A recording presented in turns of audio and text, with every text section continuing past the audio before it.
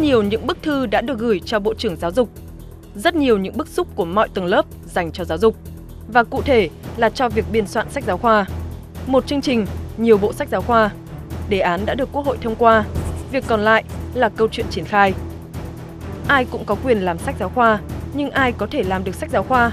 Và làm rồi thì liệu có cạnh tranh được với sách của Bộ Giáo dục khi tư tưởng của giáo viên và học sinh cứ theo bộ cho chắc? Như vậy, xã hội hóa ở lĩnh vực này liệu có phải là hiện thực? Thúc đẩy xã hội hóa để nguồn lực toàn xã hội vào cuộc trong việc viết sách giáo khoa phù hợp với thời đại và thân thuộc với học sinh cần những gì? Tất cả sẽ có trong vấn đề hôm nay. Sách giáo khoa, bức xúc thì làm gì? Thưa quý vị và các đồng chí, sẽ có một chương trình khung và nhiều bộ sách giáo khoa. Để đảm bảo tiến độ của việc thay đổi sách giáo khoa vào năm 2018, thì Bộ Giáo dục và Đào tạo sẽ vẫn chủ trì xây dựng một bộ sách cho học sinh phổ thông. Có lẽ đã hết giai đoạn bàn về việc ý kiến này làm như vậy, tức là Bộ Giáo dục và Đào tạo vừa đá bóng vừa thổi còi nữa, mà đã đến lúc chúng ta phải bàn về việc song song với việc làm của Bộ Giáo dục thì sẽ có những ai xã hội hóa dám thử sức với việc viết sách giáo khoa và phải viết như thế nào cho phù hợp với sự phát triển của học sinh. Rủi ro thì nhiều nhưng lợi nhuận hay cơ chế ưu đãi nào dành cho những con người dũng cảm ấy? Chúng ta sẽ cùng trao đổi câu chuyện này với ông Đỗ Hoàng Sơn, giám đốc công ty văn hóa Long Minh và công ty Long Minh là một công ty chuyên về dòng sách khoa học cho học sinh.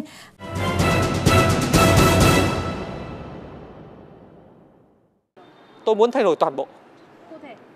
Nhiều lắm, từ cấu trúc, từ sắp xếp rồi từ ờ, từ lượng kiến thức nào đưa vào, đưa vào bao nhiêu, cách trình bày như thế nào, làm sao để nó có cái đặc trưng bộ môn là vật lý thì là thí nghiệm chẳng hạn thì mình phải làm gì với nó vân vân. Nếu mà muốn lược bỏ thì em về môn lịch sử chẳng hạn thì em muốn bỏ bớt về lịch sử của các nước như kiểu Mỹ hoặc là các nước châu Á khác bởi vì em có cảm giác là mình muốn tìm hiểu thêm về đất nước mình về văn hóa hoặc là về cái truyền thống của Việt Nam nhiều hơn ạ. Nó bao hàm được cả những cái yêu cầu về phương pháp dạy học mới. Nó phải bao hàm được cái đó chứ mà thầy mà bây giờ chỉ nói kiến thức rồi thì sách giáo khoa như hiện nay thì nó không có tác dụng mà giáo viên người ta không cần lắm Ngày hôm nay để đến với chương trình này thì chúng tôi thấy ở đây ông đã bày rất là nhiều các loại sách, từ sách giáo khoa của Việt Nam cho đến ờ, những sách mà mình ờ, dịch của nước ngoài. Và ở đây thì có cả một ờ, bộ sách mà có lẽ chính những giáo viên của Việt Nam đã biên soạn lại. Có một sự so sánh nào ở đây đúng không? Thì ở đây có một cái điểm mà đáng chú ý tức là uh, sách giáo khoa ở trong này của của chúng ta thì là ở đây thì um, chúng ta sẽ ờ, chỉ có uh, tên của các tác giả tham gia viết sách. Còn những người mà tha, những người mà uh, chụp ảnh và những người uh, vẽ hình để minh họa cho sách thì tôi không tìm thấy được đề cao ở trong này. Vâng, ý của ông tức là nếu như chúng ta bắt đầu thay đổi lại bộ sách giáo khoa này thì uh, có lẽ không chỉ là cái câu chuyện về mặt nội dung mà ngay cả cái hình ảnh thể hiện này chúng ta cũng cần phải được chú trọng hơn để làm sao để cho học sinh họ cảm giác thấy thích thú về một bộ môn học như thế này. Chúng ta đã đã bước sang thế kỷ 21 uh, ờ, cũng tương đối lâu rồi. Trong cái việc làm sách giáo khoa ấy, thì tôi cho rằng là ờ, cái yêu cầu về mỹ thuật ấy, thì lần này sẽ phải được ừ, đặt lên một vị trí rất là quan trọng. Uh, có một cái nỗi đau tức là khi mà chúng tôi ờ, tôi đi hội dự hội trợ sách quốc tế Frankfurt là hội trợ sách lớn nhất thế giới thì có một lần thì tôi nhìn thấy có một anh ờ, ờ, làm xuất bản của nước ngoài anh ấy vào trong cái gian hàng Việt Nam và anh ấy lấy cái quyển sách của Việt Nam anh ấy mở ra anh xem ở đằng sau thì anh không thấy có cái mục index Đấy.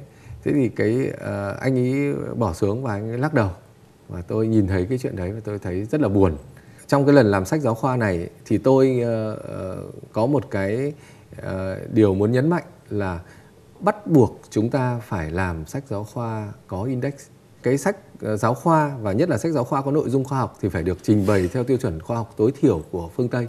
Tức là ờ, để mà tra cứu bất kỳ một cái thông tin từ khóa quan trọng nào ở trong cuốn sách và ở trang nào thì cái uh, thì người ta để cái từ khóa đấy và cái số trang tương ứng vào trong mục index cái phần mềm uh, tra cứu Google chính ờ, cụ thân sinh ra nó chính là cái index này cái chỉ mục của của nước ngoài cũng giống như cái mục lục của ta đó là cũng cố gắng để cho học sinh uh, dễ dàng tìm kiếm được rằng uh, những cái từ khóa những cái nội dung đó sẽ xuất hiện ở trang thứ bao nhiêu.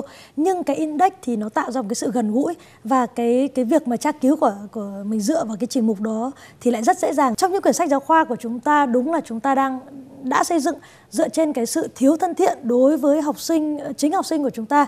À, ngay như trong một cái bức thư mà thời gian gần đây cư dân mạng chia sẻ rất là nhiều của chị Võ Thị thị Mỹ Linh. À, thì chị ấy có chia sẻ về cái sách học tiếng Anh của Việt Nam và một đất nước nghèo hơn Việt Nam rất là nhiều đó chính là Nepal. Thì ờ, sách của họ viết rất là gần gũi đối với những em học sinh Nepal. Uh, họ viết về uh, đỉnh núi Everest, uh, họ viết về uh, thủ đô Kathmandu của họ.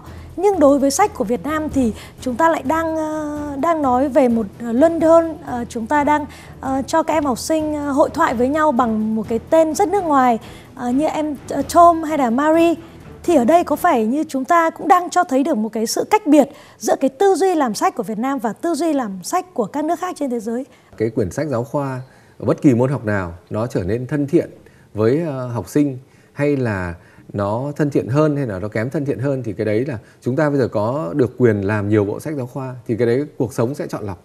Rất nhiều những tầng lớp trong xã hội từ những người ờ, làm sách, như những ờ, nông dân làm sách như ông mà ông đã trình bày ờ, hay là những cái bạn học sinh là trung tâm của những cái quyển sách này mà chúng ta hướng đến, hay là những người như chúng tôi đã qua cái thời kỳ là phải phải phải phụ thuộc vào sách giáo khoa rồi, thì cũng đang thực sự đau đáu làm thế nào để quyển sách giáo khoa nó thực sự trở nên hữu ích. Với tín hiệu tích cực như vậy thì ông có nghĩ rằng cái câu chuyện xã hội hóa giáo dục, tức là cả nguồn lực của xã hội đều tập trung vào cái cái cụ thể của giáo dục hiện nay là câu chuyện viết sách giáo khoa nó có thể dễ dàng trở thành hiện thực hơn.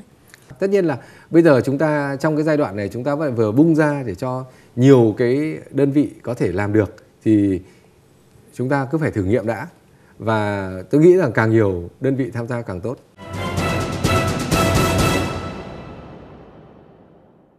Cả xã hội cùng tham gia vào việc ờ, viết sách giáo khoa thì đã có, nhưng không thể nhìn nhận rằng nó vẫn đang có những rào cản. Bởi ngay cả Bộ trưởng của Bộ Giáo dục và Đào tạo thì ờ, nói về câu chuyện viết sách giáo khoa ờ, cũng cho rằng là kinh nghiệm qua 3-4 lần viết sách giáo khoa thì cho thấy cái lực lượng viết sách giáo khoa của Việt Nam là rất ít. Và không những vậy nó còn có sự phân tán đi nhiều nơi.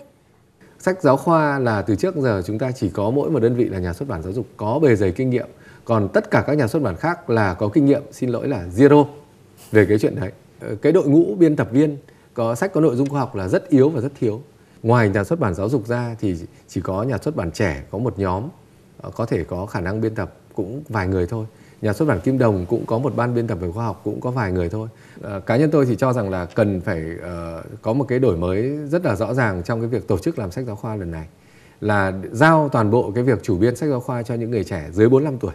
Đấy. Lý do vì sao thế? Um, uh, thứ nhất ấy là họ cập nhật hơn về khoa học kỹ thuật, nhất là sách giáo khoa về khoa học họ cập nhật hơn và cái thứ hai nữa ấy là họ phải làm việc với một cái sức ép trách nhiệm cá nhân rất nặng nề.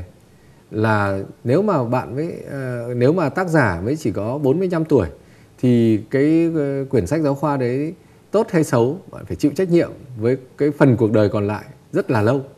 Và thực tế ra mà nói thì với những người 45 tuổi thì con cái họ thường là đang ở học phổ thông.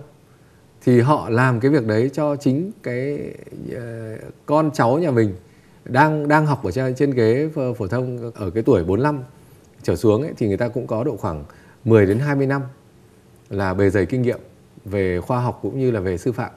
Thế và uh, cái đấy là đủ trình độ để làm thì tôi nghĩ là tốt. Còn còn những ờ, người có nhiều kinh nghiệm ở trên 45 tuổi thì sẽ ra cho họ công việc hiệu chỉnh lại những cuốn sách đấy và họ sẽ đưa ra những ý kiến đánh giá để Chính xác. để để bù đắp cái sự thiếu kinh nghiệm của đội ngũ trẻ. Vâng. Tôi nghĩ là bản thân cá nhân tôi thì không thể viết được bởi vì viết sách giáo khoa là một việc cực khó. Nếu mà tổ chức một nhóm, trong đấy có những người mà đã từng trải qua việc viết sách giáo khoa rồi, với những người chưa viết lần nào và lại được ờ, huấn luyện chuyên môn cho việc viết sách giáo khoa, thì tôi nghĩ là mới có thể. Nhiều nhóm đăng ký mà nhóm nào cũng được cấp kinh phí cả thì bộ không lấy đâu ra tiền. Chắc chắn là như thế. Bây giờ kêu gọi các anh viết sách giáo khoa đi. Thế tôi đăng ký thì những nhóm này, nhóm kia đăng ký mà đòi hỏi là bộ phải có cái ngân sách cho tôi thì không lấy đâu ra tiền, cái đó là không tưởng. Nhưng mà nếu không có tiền thì, tức là chỉ chờ khi mà cuốn sách giáo khoa của tôi được thẩm định và được thừa nhận, đó là một cuốn sách có thể dùng được, thì khi đó mới trả tiền. Thì cái điều đó cũng làm cho nhiều người e ngại. Vì cuốn sách mình rất có thể không được duyệt.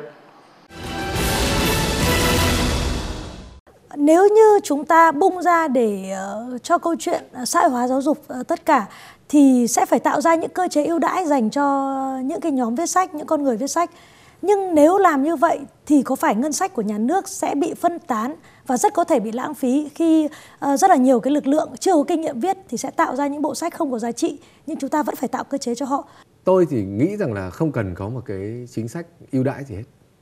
Ờ, lý do vì sao thế ạ? À, lý do chúng ta phải có cái cách nhìn một cách thị trường, một cách mạnh mẽ. Tất cả những ai mà tham gia ờ, viết cái sách đấy phải đảm bảo chất lượng tốt nhất, phải thu hút được coi như học sinh nhiều nhất. Hiện nay tôi tôi có biết là một số các nhà, nhà khoa học, một số các bạn rất trẻ, các bạn ấy tự lập ra những cái nhóm, tự coi như gây quỹ để tự làm sách giáo khoa. Chính vì cái sức ép không có ngân sách như thế, họ phải tự chiến đấu, phải làm thế nào đấy để cho coi như cái sách của mình nó đi được vào cuộc sống. Có chỗ đứng. Có chỗ đứng và đi vào cuộc sống. Và tôi nghĩ rằng là với những cái cái cái cái cái, cái tinh thần mà nó tử tế như vậy thì uh, cái ờ, việc làm ra những bộ sách giáo khoa mà nó tiên tiến hoặc là um, nó uh, nó gần gũi và và nó gần gũi với lại cái Ờ, cái cái nền giáo dục ờ, với với học sinh của chúng ta và ở các cái cái cái vùng miền khác nhau thì tôi nghĩ là chúng ta làm được những cái nhóm đấy sẽ tạo ra sức ép cho cái nhóm của Bộ Giáo dục Đào tạo biên soạn cái bộ sách giáo khoa đấy bắt buộc phải làm tốt. Tuy nhiên tôi lại muốn nói với ông một điều, giáo dục hay sách giáo khoa nó là một mặt hàng hết sức đặc biệt. Bởi vì những người tham gia vào thị trường này có khi họ không tạo họ không lựa chọn hàng hóa theo cái hướng là làm thế nào để tốt cho mình, họ sẽ lựa chọn hàng hóa theo hướng an toàn nhất có thể. Nếu như có hai bộ sách một cuốn sách cũng rất rất dày và đẹp như thế này là một cuốn sách giáo khoa về vật lý chẳng hạn và một cuốn sách như thế này nhưng là bộ chuẩn của Bộ Giáo dục thì tôi nghĩ rằng đa phần để an toàn nhất tất cả mọi người ờ, 90% sẽ chọn theo hướng này để họ có thể dạy theo những kiến thức này học sinh có thể học theo đây và để uh, cái quan trọng nhất của học tập ở Việt Nam đó chính là họ có thể vượt qua được các kỳ thi. Uh, tôi thì nghĩ thế này uh, cái kỳ thi mà rất quan trọng đối với với một con người thì đấy là cái kỳ thi xin việc uh, xã hội chúng ta là bây giờ bắt đầu đang là việc là hướng tới cái việc thực làm thực học và cái cái cái cái cái, cái các cái bộ sách uh, giáo khoa uh, trong tương lai cũng như là các cái loại sách khác hoặc là những cái những cái uh, những cái uh, sản phẩm khác trong xã hội uh, liên quan đến giáo dục liên quan đến thông tin thì đều phải uh, đều phải phụ thuộc vào cái sự lựa chọn thông minh của người dân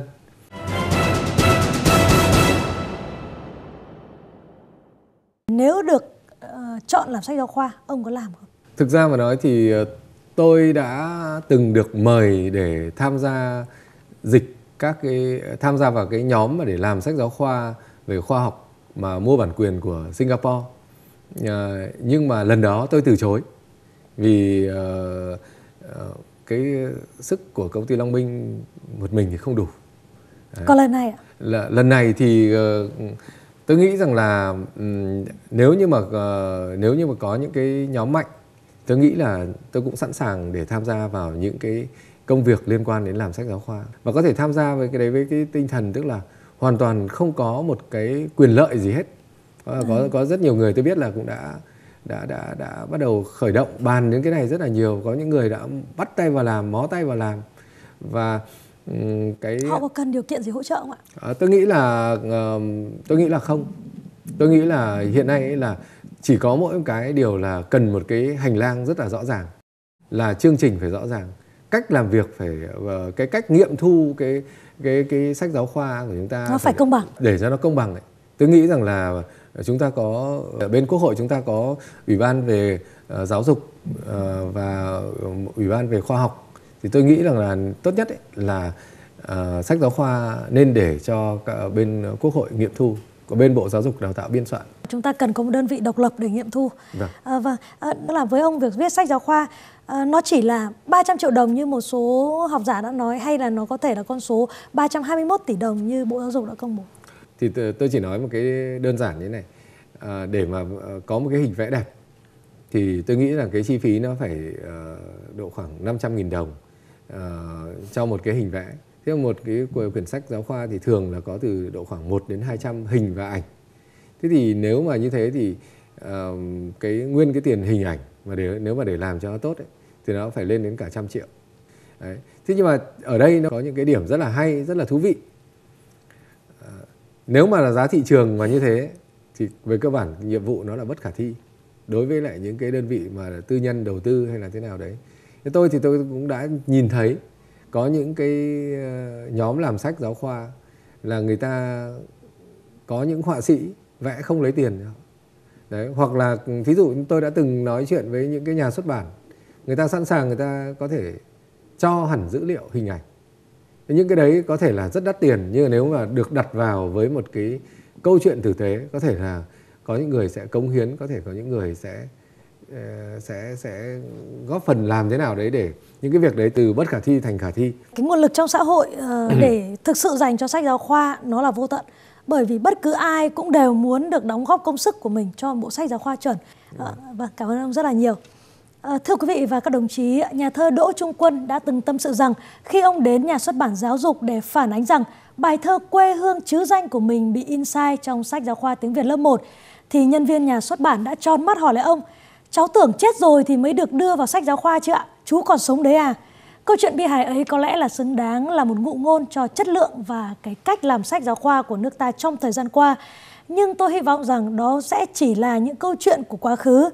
Và chúng tôi cũng xin kết lại uh, cuộc trao đổi ngày hôm nay bằng những câu chuyện gây trong tranh cãi trong những tập sách giáo khoa trong một thời gian dài vừa qua và cũng lại một lần nữa hy vọng rằng đó chỉ là câu chuyện của năm 2014 còn đến năm 2018 khi chúng ta có bộ sách mới thì đó sẽ chỉ là những câu chuyện bi hài. À, và xin kính chào, hẹn gặp lại quý vị trong chương trình lần sau.